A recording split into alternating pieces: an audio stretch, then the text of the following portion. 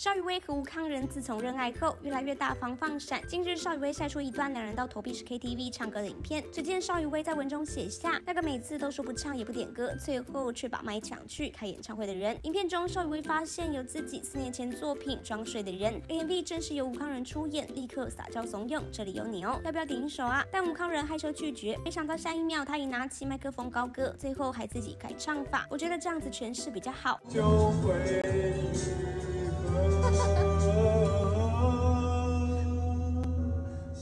总会来的。乱唱，哪是这样啊？我觉得这样子诠释比较好。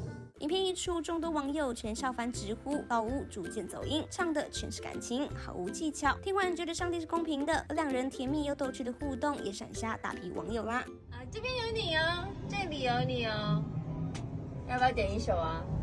是不需要。点一首嘛，我们来看看。不要了，哎呦。